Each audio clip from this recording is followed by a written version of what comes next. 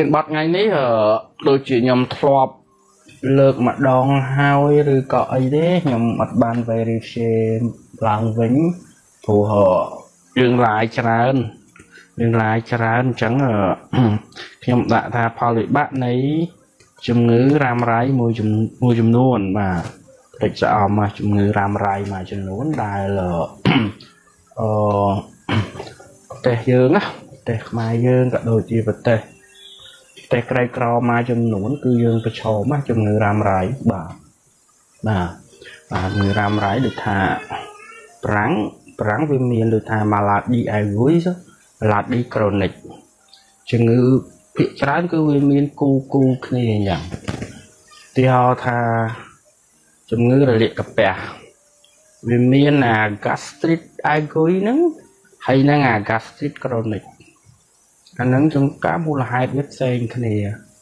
បាទមូលហេតុផ្សេងគ្នាផ្នែកផ្លូវដង្ហើមក៏យ៉ាងដែរ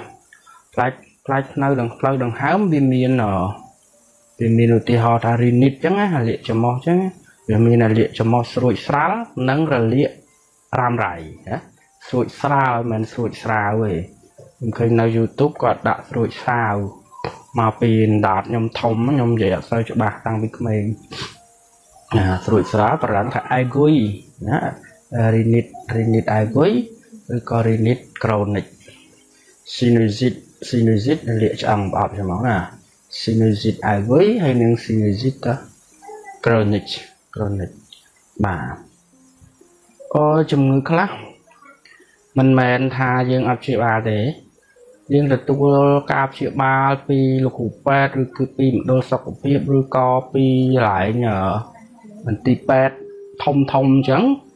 ក៏ប៉ុន្តែវានៅតែជាអដាច់ជាអដាច់ណាបាទវាមានវាជាអដាច់មិនជំងឺទាំងអស់សតតែជាដាច់ទេបាទហើយជំងឺខ្លះក៏វាជាឯងឯងដែរគេថា Giria spontanea ដូចជាជំងឺដោយពពួកវីរុសខ្លះដូចថាវីរុសផ្ដាសាយអីអញ្ចឹងវីរុសផ្ដាសាយអីអញ្ចឹងរដូវភ្លៀងហ្នឹង ហើយតែថាយើងតមតកកបាទយើងតមគ្រឿងផ្អាប់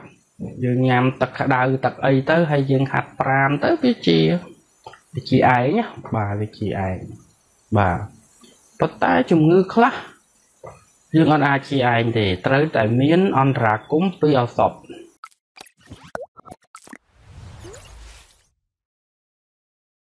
បាទពីឱសថដូចយើងដឹងស្រាប់ហើយវាមានឱសថប្រឆាំងនឹងបាក់តេរីយើងហៅអង់ទីប៊ីយោទិកទៅឱសថប្រឆាំងនឹងវីរុសអង់ទីវីរ៉ាល់ឱសថប្រឆាំងនឹងផ្សិតអង់ទីហ្វុងហ្សិក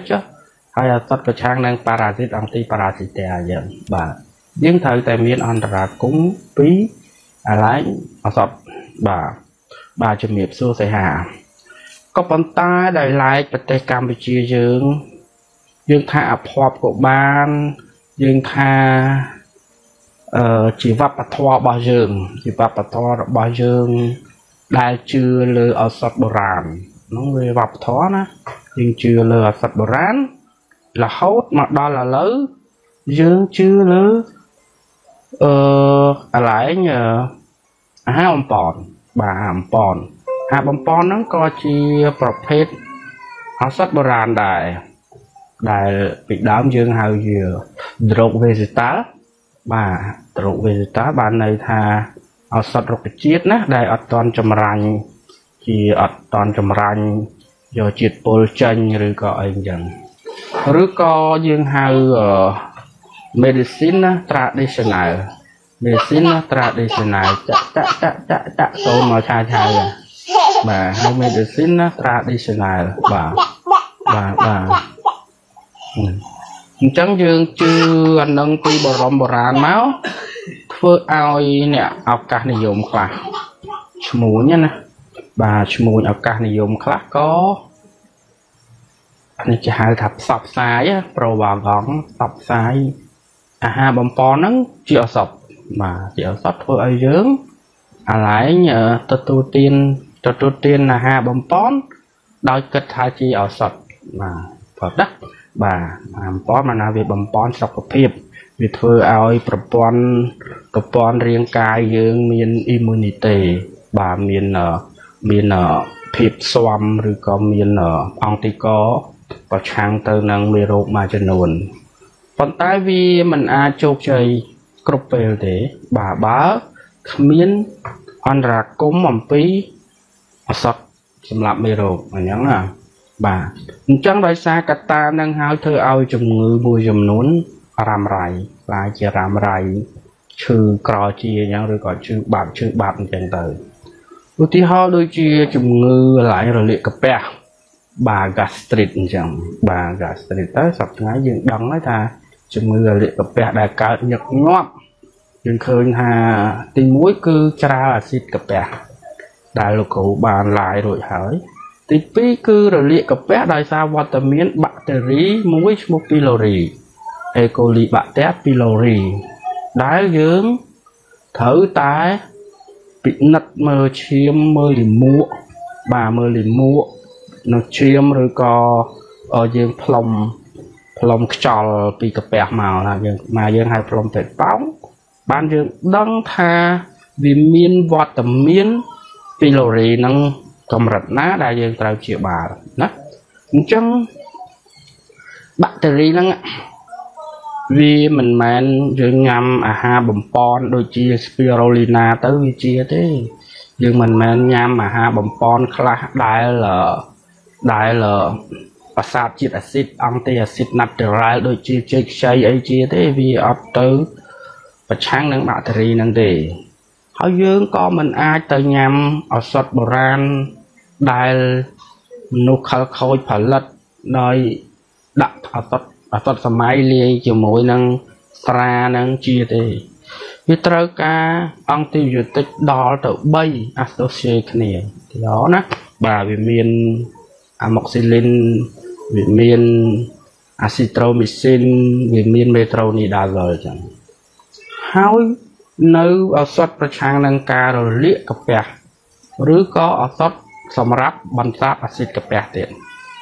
អញ្ចឹងវាត្រូវការឱសថច្រើន បានអាចព្យាបាលជំងឺរលាកកាពះដោយសារបាក់តេរីហ្នឹង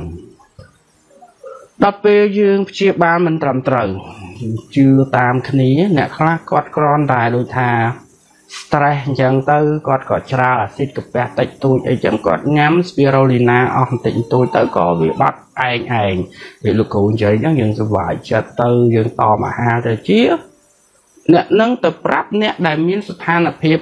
ធ្ងន់ធ្ងរស្ថានភាពអង្គបច្ចុង E. coli bacteria pylori ហ្នឹងបាទដែលសង្ឃថាក្អួតឈាមឬបត់ជើងឈាមដោយសារយើងដំបៅកាពះធ្វើឲ្យយើងស្លេកស្លាំងអី ធ្វើឲ្យយើងស្លេកស្លាំងអានីមីអីយើងទៅទទួលសេវាព្យាបាលដោយអត់មានពិគ្រោះជាមួយគ្រូពេទ្យជំនាញវាធ្វើឲ្យជំងឺរបស់យើងហ្នឹងរ៉ាំរ៉ៃរ៉ាំរ៉ៃបាទខ្ញុំឧទាហរណ៍ជំងឺមួយទៀតដូចជាជំងឺផ្លូវដង្ហើមជំងឺប្រព័ន្ធផ្លូវដង្ហើមហ្នឹងគឺងាយคล้ายជាជំងឺរ៉ាំរ៉ៃណាស់ដូចជាយើងរលាកច្រមុះដោយសារ allergy មិនថាយើង allergy អាកាសធាតុមិនថាយើង allergy ធូលីដីលំអងផ្កា substance chimic ក៏បាទសារធាតុគីមីឬក៏មេរោគដាស់ស្មាយទេ គឺការរលាកបែបហ្នឹងគឺយើងមិនអាចព្យាបាលភ្លាមភ្លាមជា ដោយយើងយកកន្លែង nasal spray ដែលគេផ្សព្វផ្សាយហ្នឹងមកបាញ់ចំហវិជាអត់ជាទេ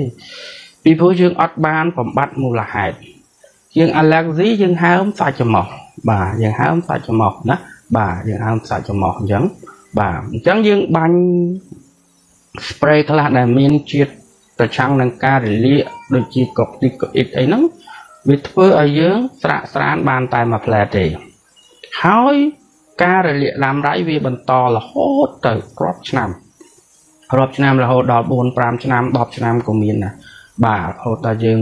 វិវត្តទៅជារលាកឆ្អឹងប្រអប់ច្រមុះបាទមានឆ្អឹងថ្ងាសណាមានឆ្អឹងមុខនេះបាទហើយនឹងម៉ាក់ស៊ីឡាជុំវិញថ្មិញឬរហូតទៅដល់តិចទៀតអានោះវាคล้ายទៅជាជំងឺរ៉ាំរ៉ៃដែររ៉ាំរ៉ៃដែររឿងជាបាលអត់បានត្រឹមត្រូវការពិត ជំងឺអស់ហ្នឹងបើនៅដំណាក់កាលដំបូងគឺថាយើងព្យាបាលស្រួលទេឆាប់ជាទេប៉ុន្តែដល់យើងជ្រើសរើសការព្យាបាលអត់ត្រឹមត្រូវ វាទៅជារ៉ាំរ៉ៃវាវិវត្តទៅជាជំងឺផ្សេងទៀតអញ្ចឹងណាបាទឬមួយទៀតដូចជាជំងឺដែលបង្កឡើងដោយពួក virus បាទពួក virus ក៏ងាយនឹងឲ្យទៅជាជំងឺរ៉ាំរ៉ៃដែរដូចជាអ្នកជំងឺកើតរើមខ្ញុំជួបច្រើនណាអ្នកកើតរើមអាកើតរើមបាទ zoster viral ហ្នឹងនិយាយមកហៅកើតរើមហ្នឹងជួនកាលគាត់កើត មួយឆ្នាំគាត់ចេញពី3ដងអញ្ចឹងឆ្នាំចេញពី3ដងអញ្ចឹងទៅ2ដង3ដងឬម្ដងចេញរហូតអញ្ចឹងធ្វើឲ្យគាត់ដំបៅស្បែកខ្លាំងឈឺពេញខ្លួនអញ្ចឹងបាទរហូតដល់មានតអករហូតដល់ dermatitis អីអញ្ចឹងបាទជំងឺខ្លះទៀតវាបណ្ដាលមកពួក Zika virus បាទ Zika virus បាទអញ្ចឹងជំងឺដែលបង្កឡើងដោយពួក virus គឺថាច្រើនរ៉ាំរ៉ៃបើសិនណាជា ស្ថានភាពសុខភាពរបស់យើងនឹងចុះខ្សោយអញ្ចឹងវាវិវត្តរហូតទៅដល់ពាក់ព័ន្ធនឹងប្រព័ន្ធប្រសាទបាទគេហៅប្រព័ន្ធប្រសាទអឺ system nervous peripheral ហ្នឹងបានន័យថាប្រព័ន្ធប្រសាទអឺមិនមែនកណ្ដាលទេគឺ extremity នៅចុងនៃសរសៃប្រសាទយើងហ្នឹងបាទធ្វើឲ្យអ្នកជំងឺដំណាក់កាលដំបូងធ្វើឲ្យអ្នកជំងឺ ស្ពឹកស្ពឹកចុងដៃចុងជើងស្ពឹកអវយវៈយ៉ាងណាស្ពឹកអវយវៈចុងដៃចុងជើងរហូតដល់ស្ពឹកដើមដៃអីចឹងទៅបាទអាហ្នឹងគេហៅលោកគ្រូពេទ្យគាត់ហៅហៅសាំងសាំងដ្រូមសាំងដ្រូមគីយ៉ាងបារេអញ្ចឹងភាគច្រើនវាជាប្រភេទជំងឺប្រព័ន្ធប្រសាទដែរប៉ុន្តែដំបូងយើងអត់តន់ដល់រលាកអាប្រព័ន្ធប្រសាទអឺ peripheral ហ្នឹងឯងបាទប្រព័ន្ធប្រសាទយើងវាមានអាណាសង្ត្រាល់និង peripheral បាទអាខាងចុងហ្នឹងបាទជាប្រសាទខ្សែប្រសាទដែលចេញពីខួរឆ្អឹងខ្នងពីអីហ្នឹងគឺយើងធ្វើຕົកប៉ុណ្ណឹងយើងអស់កម្លាំងទុនដៃទុនជើងបាទអាហ្នឹងបាទឬក៏ស្ពុកចុងដៃចុងជើងអីអញ្ចឹងបាទបាទបាទដំណាក់កាលខ្លះធ្វើឲ្យយើងហត់អស់កម្លាំងខ្លាំងហ្មងបាទអស់កម្លាំងខ្លាំង គឺថាសម្ពាធឈាមម្ដងឡើងម្ដងចុះអីយើងរកជំងឺអីឲ្យច្បាស់អត់ឃើញទេអីវាជាងការបេះដូងយើងដើរញាប់ទៅជួនកាលដើរយឺទៅបាទដើរយឺទៅបាទស្ថានភាពបែបហ្នឹងហើយដោយសារការព្យាបាលមិនត្រឹមត្រូវហើយយើងទៅជ្រើសរើសផលិតផលដែលយើងគិតថាអ្នកនោះជាទីបន្ទាល់ណាអ្នកនោះប្រើត្រូវ យើងយកមកប្រើអត់ត្រូវយើងអូបឡាយជំងឺហ្នឹងទៅជាជំងឺរ៉ាំរ៉ៃមានច្រើនណាស់នៅស្រុកយើងបាទការព្យាបាលលំបាកការព្យាបាលមានការលំបាកណាស់កាលណាជំងឺរ៉ាំរ៉ៃយូរមែនតើណាដែលដែលយើងទុនទុនទុនដើរសងដួលបាទមិនដោយសារយើងយើងមានអាឡែងជំងឺរ៉ាំរ៉ៃមួយចំនួន ដូចជាពិសេសតាមផ្លូវប្រព័ន្ធរំលាយអាហារ បាទដែលយើងអត់បានចាប់អារម្មណ៍យើងចេះតែទ្រាំទៅទ្រាំទៅទ្រាំទៅ យើងចេញអាជំងឺប្រព័ន្ធប្រសាទមួយដែលលោកគ្រូពេទ្យគាត់ហៅសាំងដ្រូមឬគឺយ៉ាងបារ៉េហ្នឹងគឺខ្ញុំជួបច្រើនណាបាទពេលខ្លះយើងតុនមែនតើខ្លះមកជួបខ្ញុំលោកគ្រូអើយខ្ញុំស្ពឹកដៃស្ពឹកជើងពេលខ្លះលើកដៃអត់រួច យប់ឡើងគេងទៅជួងកាលហត់ពុបពុបពុបពុបពុបបេះដូងដើរញាប់ជួងកាលភ្ញាក់កញែងអីចឹងទៅអាហ្នឹងគឺដោយសារផលវិបាកនៃជំងឺរ៉ាំរ៉ៃដែលវាធ្វើឲ្យរលាកអាហ្នឹងរលាកគេហៅថាសម្បកសម្បកសម្បករបស់កន្លែងអឺប្រព័ន្ធប្រសាទមួយរលាកប្រព័ន្ធប្រសាទមួយគេហៅថាពពួក system nervous peripheral យើងលាកស្បែករ៉ាំរ៉ៃក៏ដែរបាទយើងកើតកើតតម្លៃរើមនឹងក៏ដែរដល់វាលាកយូរយូរទៅយើងអាលាកស្ទាប់ស្ទាប់ដោយលោកគ្រូអាសាបញ្ចូលអញ្ចឹងវាមានអ៊ីប៉ូអ៊ីប៉ូដាមដាមរហូតទៅដល់អាឡែងគូសកូឡាហ្សែនកូឡាហ្សែនហ្នឹងអា fibrin ហ្នឹងហើយនៅក្នុងហ្នឹងវាមានអាអា extremity nerve ហ្នឹងអាផ្នែកចុងបំផុតនៃអាឡែងអឺ តែអ្នក peripheral ហ្នឹងបាទ peripheral ហ្នឹងធ្វើឲ្យយើងជិបជិបជិបជិបជិបស្ពឹកដៃស្ពឹកជើងអីចឹងបាទបាទអាហ្នឹងក៏មានជំងឺផ្លូវដង្ហើមភាកច្រើនដែលខ្ញុំមើលរាល់ថ្ងៃហ្នឹងរាល់ថ្ងៃហ្នឹងអាលក្ខស៊ីហ្នឹងក៏ទៅឲ្យមានណាអាសាំងដ្រូមហ្នឹងដែរបាទបាទអញ្ចឹងលោកគ្រូបញ្ញាមកវិញគឺថាការដែលយើងជឿទៅលើ ការភូតខកការភូតកុហករបស់ជនអាកាសនិយម ជាបញ្ហាយកសារ៉ាយស្ពីរូលីនទៅព្យាបាលជំងឺរលាកកាពះមេរោគដងកាពះអីលាកច្រមុះអាជំជា100មុខហ្នឹងវាជាការពូតផលហើយអ្នកដែលនិយាយហ្នឹងគឺជាឃាតករដោយអត់ដឹងខ្លួនបានន័យថាយើងបំផ្លាញសុខភាពប្រជាពលរដ្ឋយើងដោយអត់ដឹងខ្លួនដោយអត់ដឹងខ្លួនយល់ទេបាទអត់ដឹងខ្លួនយើងមិនមានចេតនាទេចេតនាយើងល្អទេ យើងចង់ឲ្យប្រជាជនជាដោយមិនបាច់ទៅរកវិជ្ជបណ្ឌិតឬគ្រូពេទ្យគ្រាន់តែទិញសារាយមកកំប៉ុងពីកំប៉ុងយកទៅលេបយើងជាអានេះចេតនាយើងល្អប៉ុន្តែដោយសារភាពល្ងងខ្លៅរបស់យើង នៅក្នុងផ្នែកវិទ្យាសាស្ត្រយើងគិតតែពី pro វ៉ាកង product advisory យើងគ្រាន់តែអ្នកប្រឹក្សាផលិតផលទេបាទហើយយើងអះអាងទំហំប្រសិទ្ធភាពនៃការព្យាបាលនឹងវាខ្ពស់ពេក ខ្ញុំនិយាយចឹងមិនមែនថាអត់មានអ្នកជាទេពោះជំងឺច្រើនណាស់ដែលវាជាឯងឯងចាហ្គីរីស្បង់តានេះ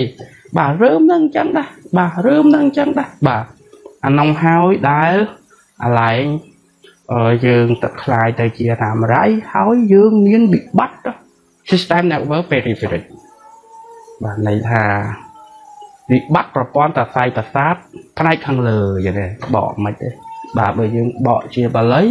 គេហៅ រលាកឬបរិប្រសាទបរិប្រសាទយ៉ាងហ្នឹងគឺហាក់បានគេបកអញ្ចឹងបិណ្ឌតែខ្ញុំសូវយល់តម្លៃទេតែខ្ញុំដឹង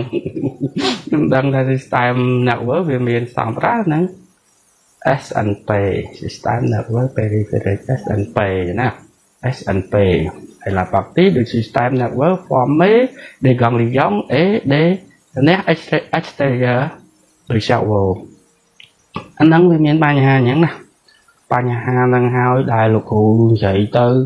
បងប្អូនអ្នកលក់លោខ្លះក៏អន់ចិត្តទៅតែយល់ថាអានេះវាជារឿងរបស់សង្គមយើងដែលយើងមិនត្រូវបតែបដោយទេហើយការព្យាបាលមានការលំបាកណាស់កាលណាយើងឈឺរ៉ាំរៃអញ្ចឹងទៅ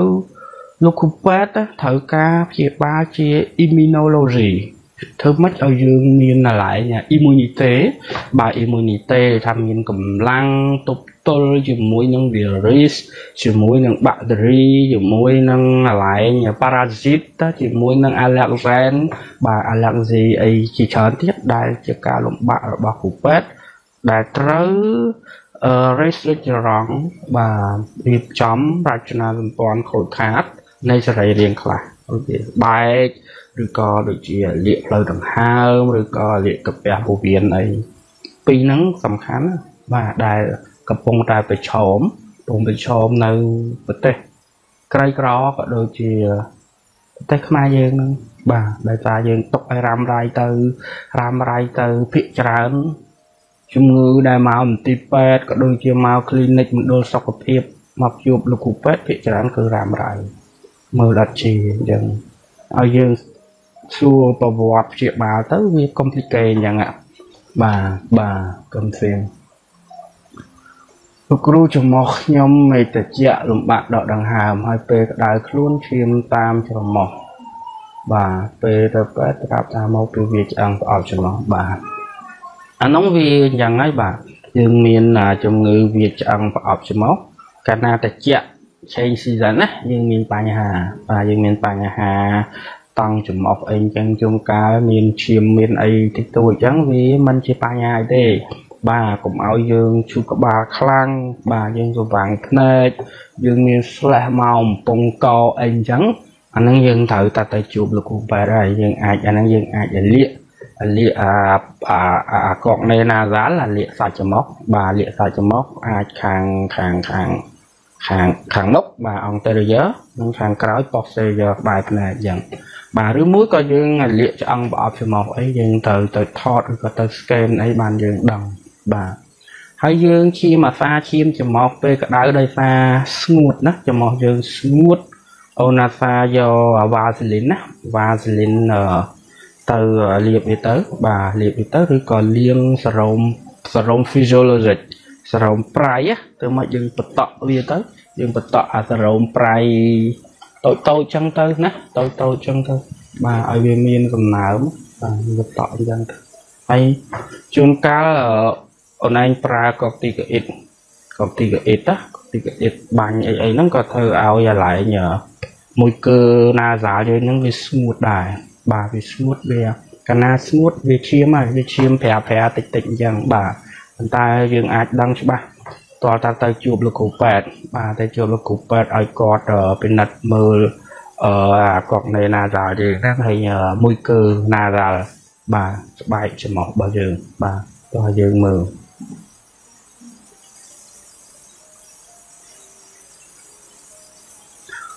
បាទទីទីឡាវលោកគ្រូផិនខ្ញុំខ្ញុំមើលអត់ឃើញបាទលោកគ្រូខ្ញុំ តែងតែណាតែក្រដាស់ក្រដាស់ជាប្រចាំក្រោយពេលក្រដាស់ក្អកឧស្សាហ៍ឈឺក្បាលផ្សាក្តៅភ្នែកអានឹងយើងអាចមានបញ្ហាពីរទីមួយយើងអាចអលីអីកាលណាយើងស្វាំងភ្នែកចឹងយើងអាចអលីអឺ silis ណា ecmoid នេះអាក្រមភ្នែកហ្នឹងបានយើងចឹងហើយយើងកតាហ្នឹងយើង allergy ខ្លាំងណាស់បាទអាហ្នឹង rhinit chronic ឬក៏ sinusite chronic រ៉ាំរ៉ៃហើយ ប៉ុន្តែបើសិនណាជាយើងយើងកតាយើងឈឺច្រមុះហើយឈឺកំពង់កទៀតអាហ្នឹងគេហៅ rhinopharyngitis អាហ្នឹងច្រើនពួក virus តែអូនឯងអានេះទីទីអានេះអឺក្រុនចាស់រ៉ាំរ៉ាយបាទរ៉ាំរ៉ាយរោគសញ្ញាហ្នឹងគឺរលាករលាកអឺច្រមុះរ៉ាំរ៉ាយឬក៏អឺ rhinita allergic ចាស់រលាក allergy ហើយបាទព្រោះព្រោះ allergy វាឲ្យយើងស្វាងភ្នែក ពួក dropping ពួកដាស់ស្មាញណាវាឲ្យរោគសញ្ញាយើងអញ្ចឹងបាទរោគសញ្ញាកតាស់ក្តាស់ជាប្រចាំអញ្ចឹងវាមានឈឺក្បាលតាំងច្រមុះកតាស់ញឹកញាប់ហៀសបាវស្លេះពេលព្រឹកកាហាយភ្នែករោគចង្កសាគ្រុនធ្វើការឆាប់ហត់ក្លិនជ្រួឆាប់ប្រតិកម្មមិនហ្នឹងជាផ្សេងទីពេចណាណាក៏អញ្ចឹងដែរមិនដល់ណៃនេះតើមកព្យាបាលណាហ្នឹងហើយមកព្យាបាលអញ្ចឹង ផលវិបាកនៃជំងឺរ៉ាំរ៉ៃមិនថាផ្លូវដង្ហើមមិនថាពះពោះវៀនមិនថាសើស្បែកទេគឺថាកាលណាយើងបដែតបដោយយើងបដែតបដោយអញ្ចឹងទៅវាឲ្យមានបញ្ហារលាកសម្បកសរសៃប្រសាទថា peripheral ហ្នឹងបាទយើងចាប់ផ្ដើម ឈឺឈីបឈីបឈីបឈីបចុងដៃចុងជើងបាទពុកស្បុនក្នុងការឈឺដល់ដើមដៃអញ្ចឹងទៅអញ្ចឹងទៅយើងឆាប់ហត់ម្ដងមុខអីចឹងដេកដេកហត់អញ្ចឹងទៅស្ពាតឈាមឡើងចុះអត់ទៀងទាត់អីអញ្ចឹងទៅណាបាទអីអញ្ចឹងវាមានកម្រិតវាបាទបាទក្រសួងសុខាភិបាលគេចែកជាអាសង្ដ្រោមសង្ដ្រោមគីយ៉ាងបារេហ្នឹងជា3កម្រិត3កម្រិតហ្នឹងជាពិសេសបងប្អូនយើងដែលមានបញ្ហា កាពះរ៉ាំរ៉ៃមិនមិនមកព្យាបាលមិនមកព្យាបាលអាឡែងជាមួយលោកគ្រូពេទ្យយើងទៅអាឡែងយកសេវាដែលជាផលិតផលដែលលក់មិនមែនជាវិជ្ជាបណ្ឌិតវិជ្ជាបណ្ឌិតគាត់ធ្វើរោគវិនិច្ឆ័យបាទគាត់ធ្វើរោគវិនិច្ឆ័យបាទបាទមានតែវិជ្ជាបណ្ឌិតទេដែលអាចធ្វើរោគវិនិច្ឆ័យបានមិនមែនសារ៉ាយស្ពីរូលីណាមកធ្វើរោគវិនិច្ឆ័យបានទេ ហើយការធ្វើរោគវិនិច្ឆ័យលំបាកណាបាទពីព្រោះត្រូវធ្វើគេហៅថារោគវិនិច្ឆ័យធៀប diagnostic differential គ្រាន់ថា rinit ណាមាន rinit aigui ឬក៏ rhino rhinopharyngitis ដែលបណ្ដាលមកពី virus ដូចជា virus ដាស់សាយើងហ្នឹង rhinovirus virus ហ្នឹងឬក៏ coronavirus អាហ្នឹងការព្យាបាលរបៀបផ្សេងបាទមួយទៀត rhinit allergic ការព្យាបាលរបៀបផ្សេង មួយទៀត rhinit allergic អាវិច complicate ការព្យាបាលរឹតតែលំបាកទៅទៀតកាពះដូចគ្នាបើយើងច្រាទឹកអាស៊ីតកាពះលោកគ្រូព្យាបាលផ្សេងបាទបើយើងរលាកកាពះដោយសារ pylori លោកគ្រូព្យាបាលផ្សេងត្រូវការប្រើអង់ទីប៊ីយោទិក14ថ្ងៃបាទ14ថ្ងៃ2សប្តាហ៍ហើយត្រូវការឡើងប្រើអអង្គទីអាស៊ីតឬក៏ ថ្នាំប្រឆាំងនឹងការរលាកកាពះ6សប្តាហ៍ចុះបើយើងស្លេកស្លាំងបាទយើងស្លេកស្លាំងយើងអានេមីយើងយើងខ្វះគ្រាប់ឈាមក្រហមយ៉ាងណាស្រួលនិយាយត្រូវការចាក់វីតាមីន B2 មួយខែ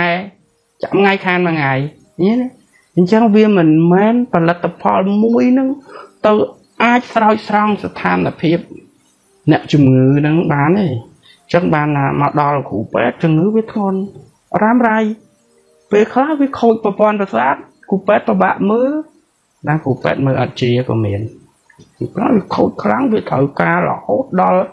ការព្យាបាលដោយអាឡែងគេហៅគេហៅ plasma exchange ទៀតបាទត្រូវការការព្យាបាលនៅសង្គ្រោះមិនតាន់មិនកម្មនៃមកមកមើលជាកាលណាយើងរលាកប្រព័ន្ធប្រសាទ peripheral ខ្លាំង អានោះតែយើងអត់មានណាទៅនិយាយខ្ញុំនិយាយប៉ុន្តែដូចជាជាខ្ញុំធ្លាប់និយាយម្ដងហើយប៉ុន្តែបើខ្ញុំមិនច្រឡំទេខ្ញុំនិយាយរឿងរើមជំងឺរើមដែលវាវាមានផលវិបាកទៅលើប្រព័ន្ធប្រសាទហើយអ្នកជំងឺរហូតទៅដល់លេបថ្នាំគេហៅថាថ្នាំថ្នាំត្រង់គីលីសេថ្នាំផ្លូវចិត្តបាទតម្រាំខ្ញុំជាបាលជាតម្រាំឲ្យគាត់ផ្ដាច់ អាផ្លូវចិត្តហ្នឹងគឺថាពិបាកបានចូលចូល2ឆ្នាំបាទ2ឆ្នាំបើគាត់មិនមែនមករាល់ថ្ងៃទេថាមួយខែពីរខែគាត់ធ្វើຕົកមួយខែពីរខែគាត់ធ្វើຕົកយ៉ាងណាបាទគាត់ធ្វើຕົកលេបថ្នាំអឺអង្គការខាងផ្លូវចិត្តនឹងរាប់ឆ្នាំបាទដោយសាររឿងហ្មង infection viral ផងបាទ infection viral ផងក៏ឲ្យមានអាអា syndrome syndrome អឺអឺហ្គីយ៉ាងបារ៉េនឹងដែរបាទហ្គីយ៉ាងបារ៉េនឹងដែរបាទទុនមកទុនទុនបាទពេលខ្លះតាដកយប់ឡើងដកដង្ហើមសឹងមិនដល់គ្នាបាទហើយច្រមុះក៏អញ្ចឹងដែរបាទ sinus sinus បាទ sinus បាទ sinusite sinusite chronic បាទអញ្ចឹងតើតាយើងដងដងការជាបាទ sinusite ហ្នឹង អា frontal អាថ្ងាសនេះថ្នាំផ្សេងអា ethmoid នេះថ្នាំផ្សេងអា maxilla នេះថ្នាំផ្សេងអានឹងទៅលាកឆ្អឹងប្រអប់ច្រមុះតែមួយផងបាទបាទពិបាកណាស់ការជាបាលអត់ស្រួលដូចយើងអឺប្រូលក់ថ្នាំលក់សារ៉ាយស្ពីរូលីណាលក់ស្ប្រេណាសាលលក់អីតាមអនឡាញទេបាទអត់ស្រួលដូចយើងគិតទេបងប្អូនដែលជាដោយសារអញ្ចឹងក៏លោកគ្រូ មិនថាអីទេណាព្រោះវាមានអ្នកជាដោយសារជំងឺខ្លះយើងស្រាលយើងស្រាលយើងជាហើយជឿលោកគ្រូវាជាឯងពីព្រោះនៅក្នុងសរីរាង្គយើងក៏មានអង់ទីកដែរនិយាយថាពួកពួកគេហៅហៅថាក្របឈាមសណាវាមាន T cell វាមាន macrophage វាមានអីចឹងមាន leukocyte វាមាន eosinophil វាមានអីចាញ់មកប្រយុទ្ធអាខ្លះពាត់ទៅអាខ្លះស៊ីទៅអាខ្លះ អីចឹងទៅប៉ុន្តែកាលណាវាមេរោគវាច្រើនបាទមីក្រូបវាច្រើនមិនថាវីរុសមិនថាប៉ារ៉ាស៊ីតមិនថាអាឡែកហ្សែនមិនថាអីបាក់តេរីទេអាអង់ទីកយើងក៏ទប់ទល់អត់ជាប់វាត្រូវតែមានអន្តរាគមពីមេឌីកាម៉ង់បាទពីថ្នាំពីអសពណាណាបាទអញ្ចឹងជំងឺរ៉ាំរ៉ៃវាធ្វើឲ្យយើងមានជំងឺប្រព័ន្ធប្រសាទហើយយល់វាមិនមែនជាប្រព័ន្ធប្រសាទដូចជាកន្លែងអឺ លោកគ្រូនិយាយវាធ្លាក់ទឹកចិត្តឬទៅជាស្គួតជាអីទេវាមិនមែនទេវាមិនមែនអានោះទេជាប្រព័ន្ធប្រសាទមួយដែលគេហៅថា system តា network peripheral peripheral សម្បកវាសម្បកវានឹងវាលាកដែរបាទលាកដែរយើងរ៉ាំរ៉ៃពេកបាទអាហ្នឹងជួនកាលយើងមើលចន្លោះប្រហោងកន្លែងហ្នឹងបាទយើងចន្លោះប្រហោងច្រើនតលតែលោកគ្រូពេទ្យគាត់ជាមេដសាំងត្រែកតង់គ្រូ ពេទ្យដែលព្យាបាលជំងឺច្រើនជាពិសេសជំងឺរ៉ាំរ៉ៃអញ្ចឹងទៅគាត់ដឹងអារឿងអស់ហ្នឹងរឿងអស់ហ្នឹងបាទដោយសារប្រវត្តិនៃការព្យាបាលមកវាអត់ធម្មតាដូចជាថាយើងប្រើឱសថដោយមិនពិនិត្យពីគ្រូពេទ្យអញ្ចឹងណាឬក៏ពីពីអីអញ្ចឹងពីអីអញ្ចឹងយើងប្រើតាមគ្នាឆ្នាំឈុតអញ្ចឹងណាបាទឆ្នាំឈុតអញ្ចឹងសំស្រាប់អញ្ចឹងលំបាកណាបាទ ទេសសុផាតលោកគ្រូករណីឧស្សាហ៍ឆ្លក់ដង្ហើមពេលគេលក់ធ្វើឲ្យស្ទះដង្ហើមនិងភ្នាក់កន្ត្រាក់គឺបដាអាហ្នឹងក៏នៅក្នុងអាហ្នឹងដែរអូននឹងត្រូវទៅពិនិត្យមើលចំមោះពងកមើលអីបាទមើលនឹងឡើងវិញសួតអីណាមើលសួតមើលអីវាមានព្រោះព្រោះផ្លូវដង្ហើមវាមានផ្លូវដង្ហើមលើនិងផ្លូវដង្ហើមក្រោមអញ្ចឹងណាហើយមនុស្សដកដង្ហើមមិនមែនតែតាមចំមោះទេបាទទី1ដកដង្ហើមតាមចំមោះ ទី2តាមមាត់ទី3តាមបំពង់កទី4តាមសួតទី5តាមបេះដូងទី6យ៉ាហ្វ្រាមនេះសាច់ដុំសត្វទ្រូងអញ្ចឹងបើយើងមានបញ្ហាណាមួយបញ្ហាច្រមុះ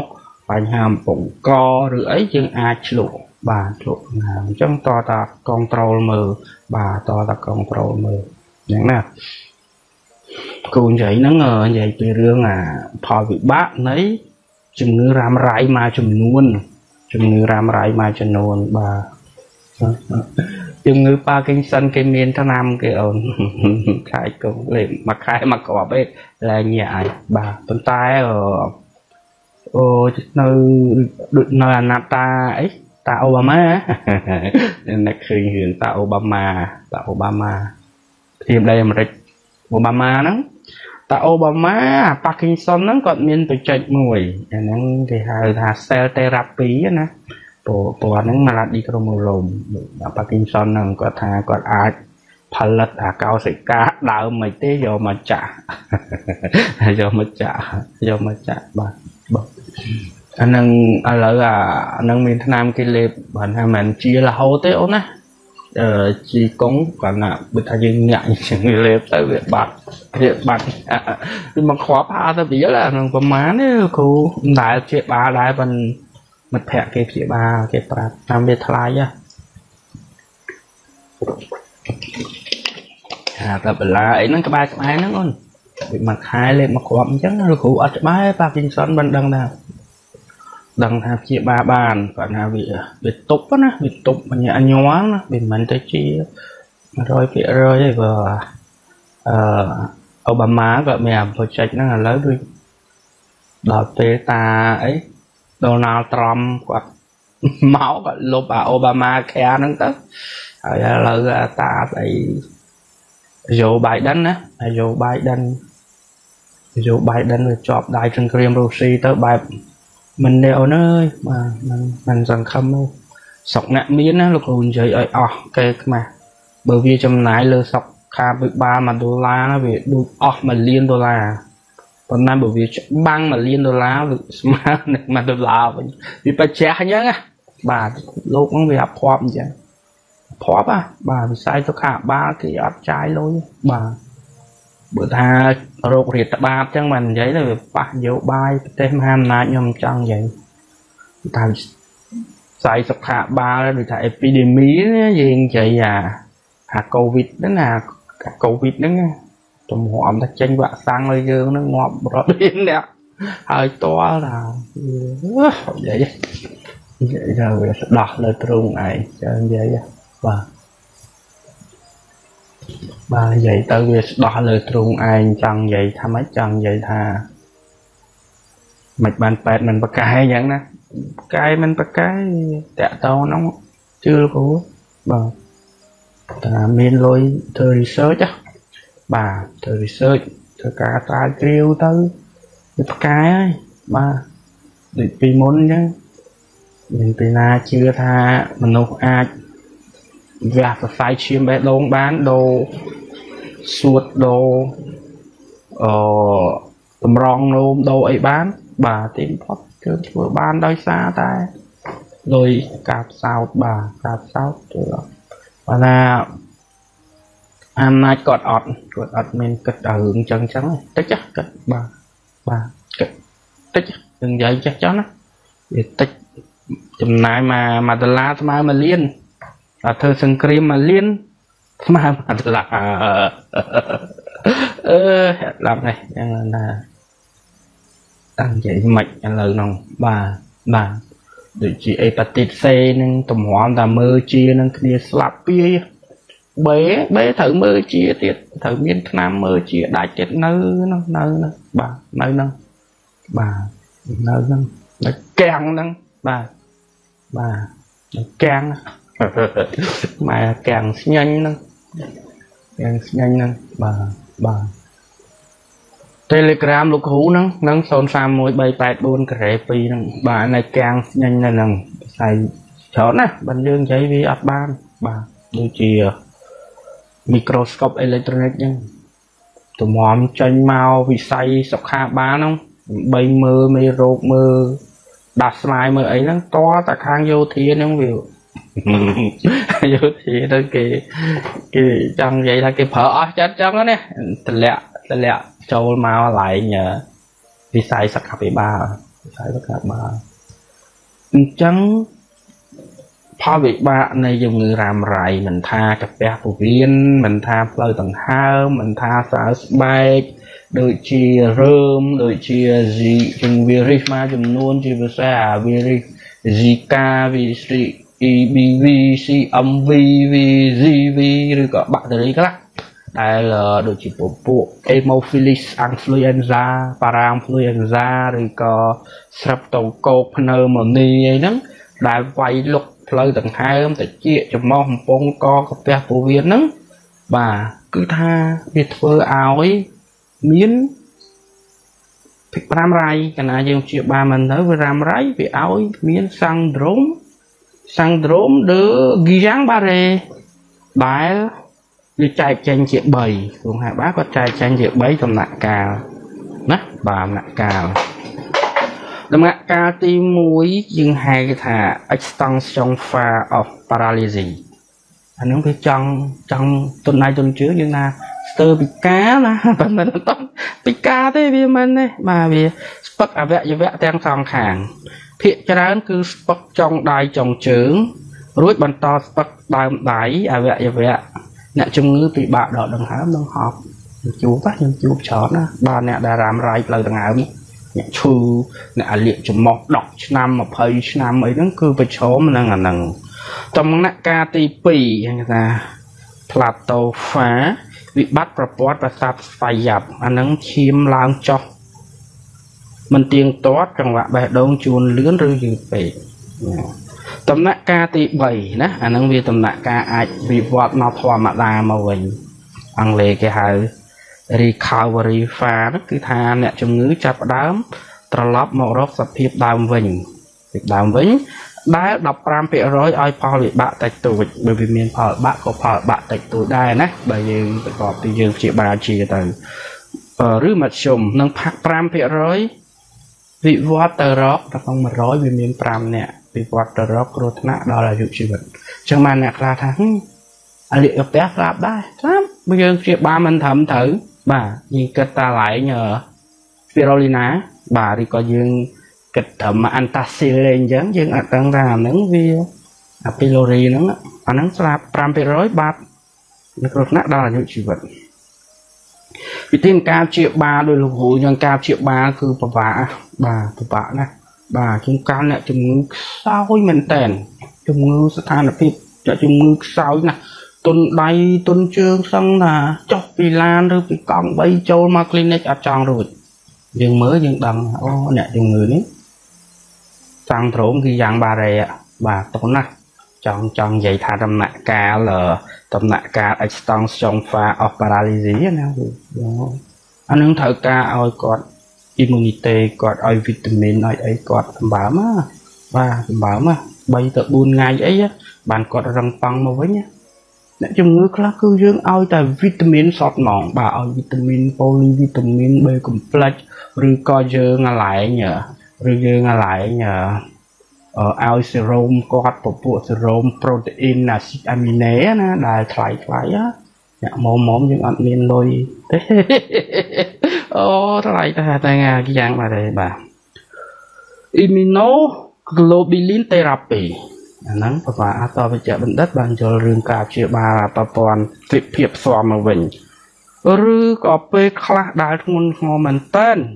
អាហ្នឹងយើងទៅ ICU ហើយធ្ងន់ធ្ងរមែនតើ គឺថាការធ្វើការផ្លាស់ប្ដូរផ្លាស្មានៅក្នុងឈាមបាទ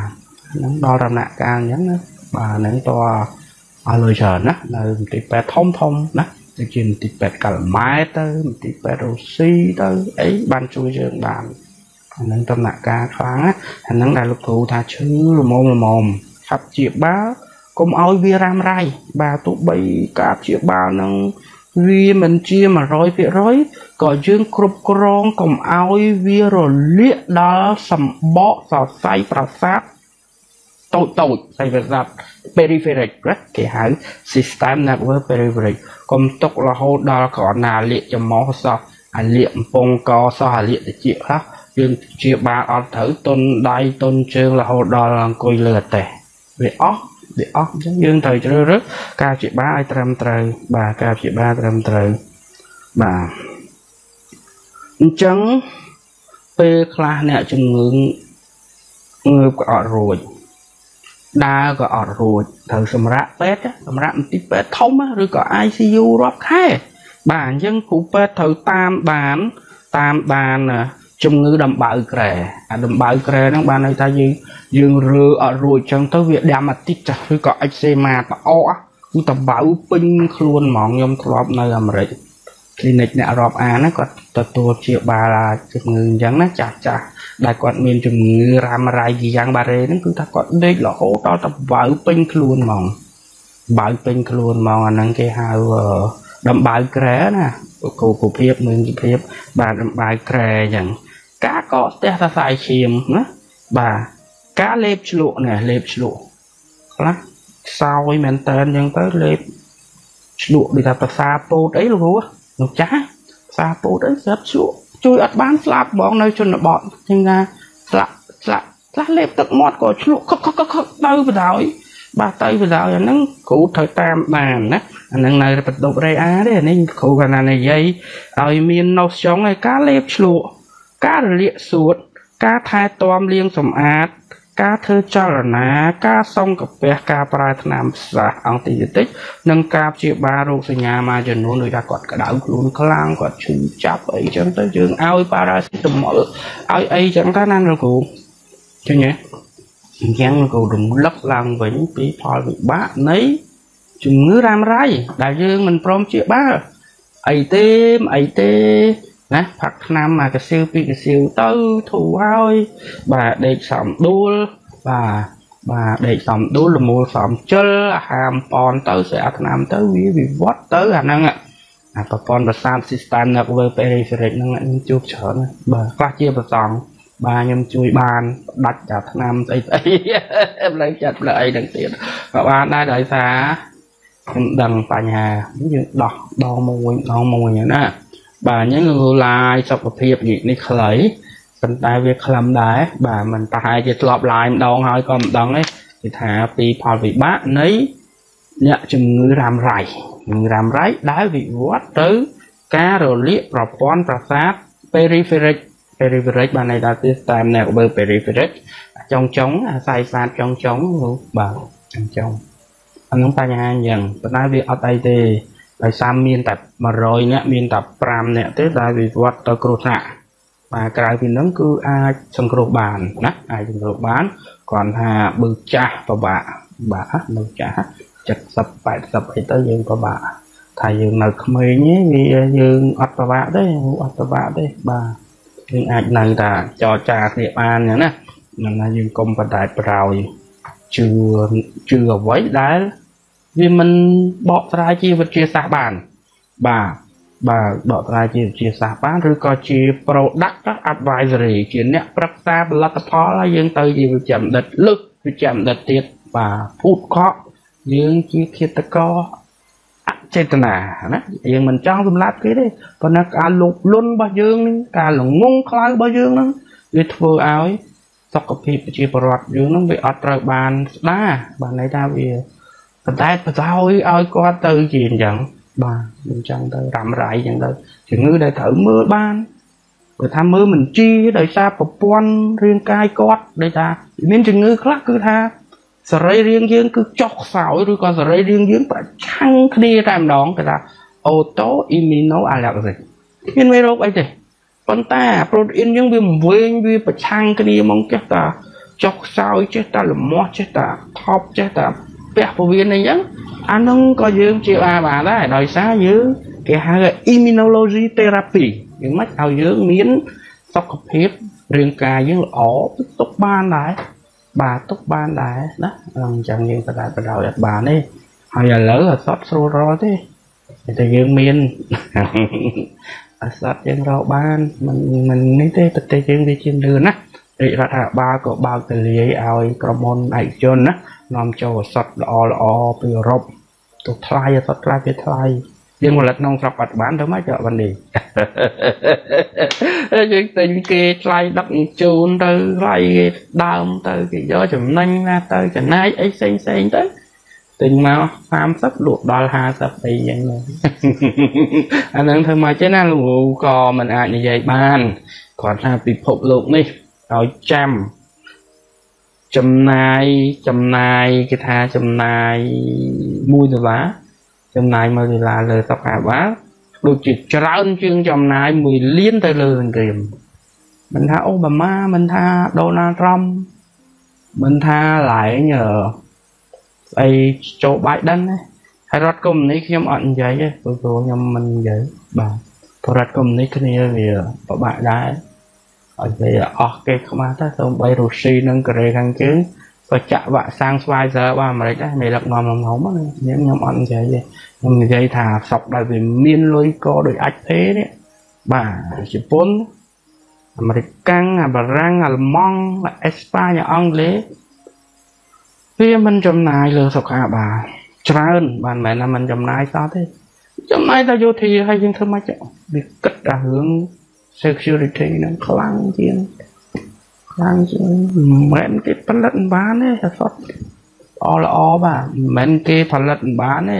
cell therapy ការព្យាបាលដោយមិនបាច់ប្រើឱសថដោយ immunity ដោយកោសិកាដើម គេអាចធ្វើបាន